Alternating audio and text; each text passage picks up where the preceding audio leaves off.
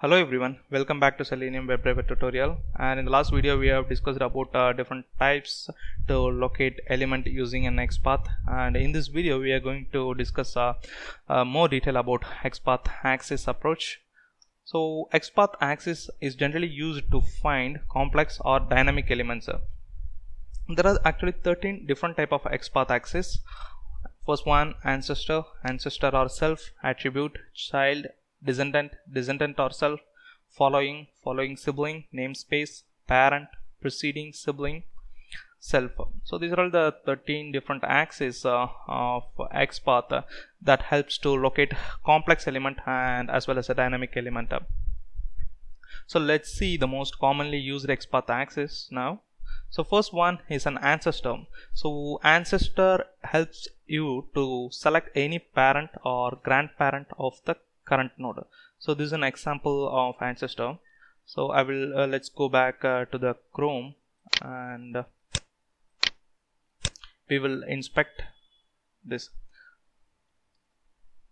So if you see this this is uh, you already aware which we have discussed in the last video how to write a relative basic. This comes under basic relative XPath. After that we have used a forward slash followed by XPath axis that we are seeing right now it's an ancestor. And after you write the XPath axis you have to use a double colon followed by either star or an expression or an XPath expression that you want to locate. So when you're looking this for a very first time or if you are uh, learning this XPath axis for the very first time it looks really complex but uh, when once you start practicing this you will get used to it so let's see how to write an XPath so let me locate this one. CST so I will write a normal XPath now. It's ID at ID let me zoom this one. At ID is equal to. So finally we can able to locate this um, node with an ID and now let's explore how the ancestor work. Ancestor have used a keyword ancestor followed by double colon and star. So it returns three matches that you can see here. This ancestor return the parent as well as grandparent of the current node this expression this is an expression for the current node that we are looking so this is a current node if you see this div id is a current node and this div section is a parent of this current node that you can see from this arrow marker. This is a parent of uh, the current node and this is a grandparent and this is a grand grandparent so whatever the nodes which are ancestor of this current node will get returned as a result when you use this uh, keyword ancestor so first it return the html and it return the body and it return the div section. So how it helps us means uh, uh, let's say if you want to locate this one but this div section and this div section doesn't have an attribute or it have an attribute but it gets duplicated then you can take this as a reference and you can locate the this div section. So let's say I can remove this uh, star hyphen div.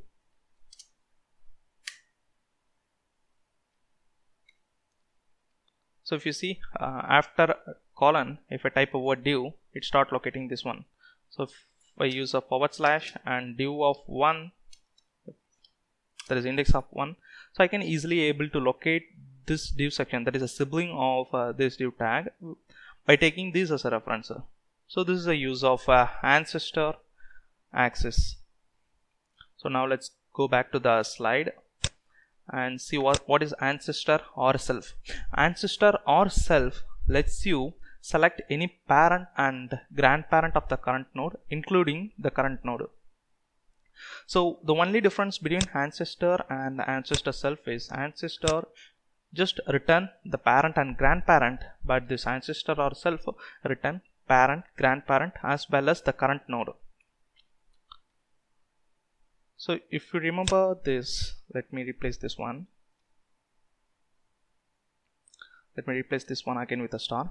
It returned three results and it doesn't include this uh, current node but once I replace this with ancestor hyphen or hyphen self it returned 4 which means it include the current node that is uh, this node as well.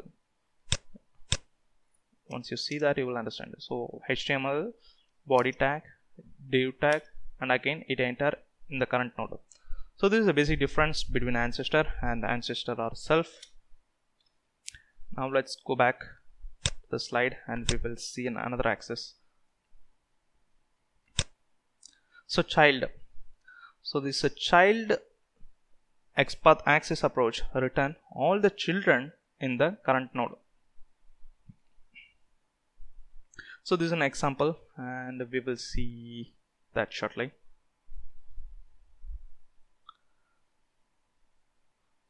So if you see this is a node which we took this node which we took but it has only one child. So we will pick up another one which is having more than two or three child. If you see this node it has uh, around yeah more than three child. So we will pick up this one. So I'm going to replace the CST with view report now as well as this one I'm going to replace this XPath axis as child. If you see this it return 17 matches so this is a one which we are referencing and this is the first results it returning. So once you look through the results you could see that it return all the childs of this node but it doesn't enter into the grandchild or the child which is uh, present uh, inside the child of uh, this current node. So it just return only the child of the referencing node. So this is a use of child axis approach. Now let's go back to the slide and see descendant. So descendant is an another axis approach, XPath axis approach, which lets you select children and grandchildren of the current node.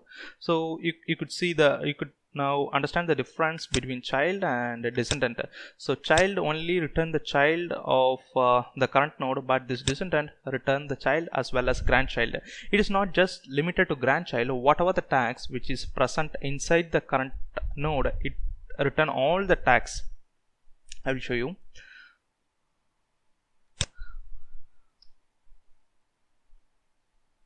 So once I replace this with keyword descendant you could see it returned 390 results. So this is a uh, highlighted the gray color highlighted portion is the current node and this is the first match. Let's see one by one. If you see that it entered into another tag and it again went inside the div id is equal to cst that is a grandchild of the referencing node and again one more grandchild. Grand grandchild. So now if you see it went inside the this is a child this is a grandchild and this is a grandchild this is another grand grandchild. It went further.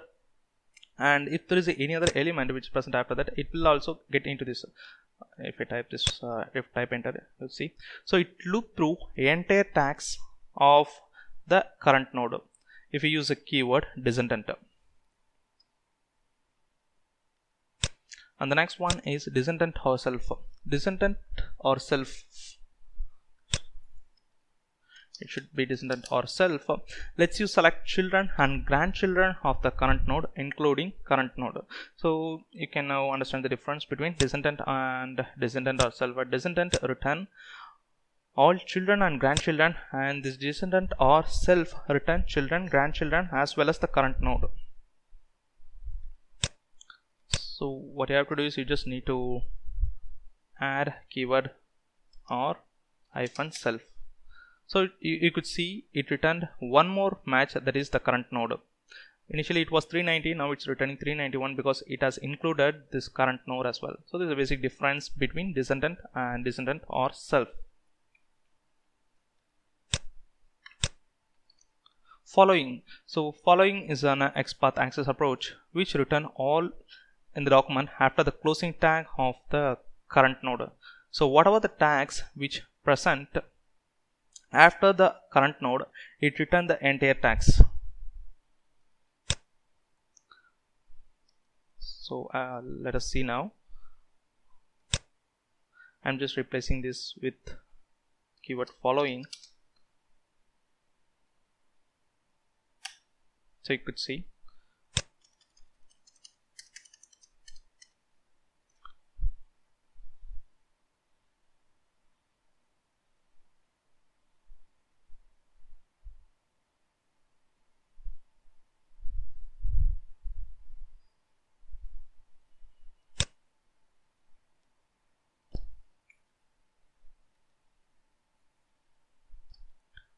so if you see here um, this is a Chrome. So whatever the tags uh, which are present after the closing tag of this node get returned? So let's go to this one. This is the one which I have minimized. So it start returning the expression from this line onwards. So this script div and one more div. If I enter one more div it will enter inside the parent as well as grandparent and as well as if any other tag present after the reference node it will return that as a result if you use a keyword following. And following sibling. Following sibling return all the siblings after the closing tag of the current node. So there is a much difference between following and following sibling. This following return all the tags irrespective of whether it is a parent grandparent or grandchild or grand grandchild it return all the tags but this following siblings return only the sibling of the current node. So this is the one we took. And if you see these two tags are the siblings of this current node that you can see from here this lies on the straight line. So this div section and iframe are the two tags which are the siblings of uh, the current node which we are referencing. So once you replace this with keyword following hyphen sibling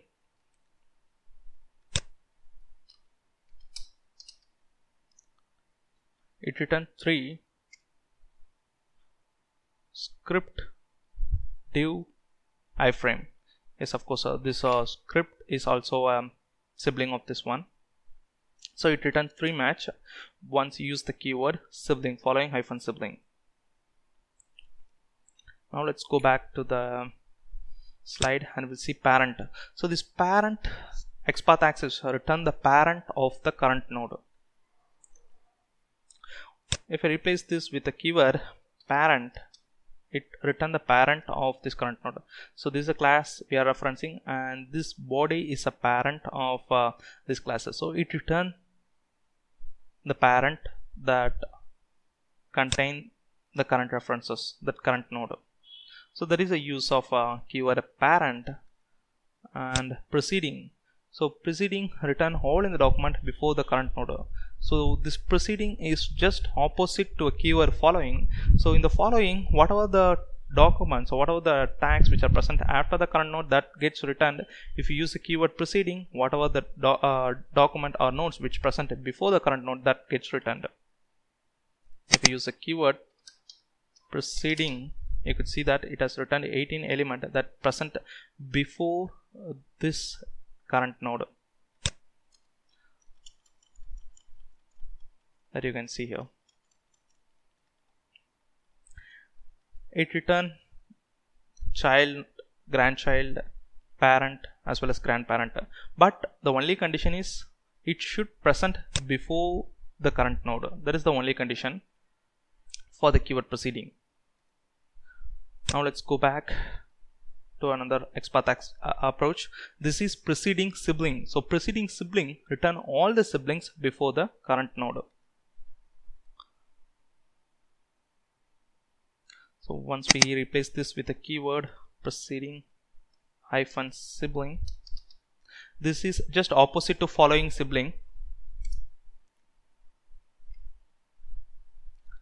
Preceding hyphen sibling. There is a no siblings uh, uh, before this one. So let us select uh, another one. So if you see there is a no siblings before this one. So I will I will replace this one with with this tag which is present after that. So it has at least one sibling here that you can see.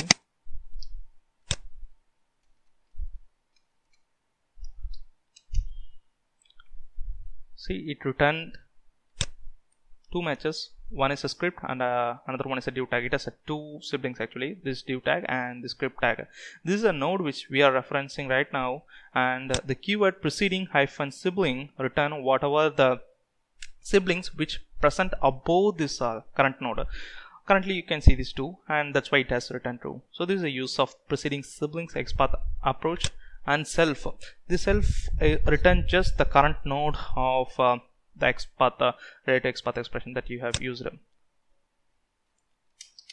It just return only one value that is a current node that you are referring to. So this is a use of a self and I don't think that it is much useful this self because uh, even this expression is more than sufficient to return the current node. So just uh, as a part of uh, learning you should know what is the use of a self in the XPath axis so thank you for watching this video. If you like this video give thumbs up and don't forget to subscribe to my channel. And if you have any doubts just drop all your doubts in the comment section. I will get back to you as soon as possible. And thank you. Bye bye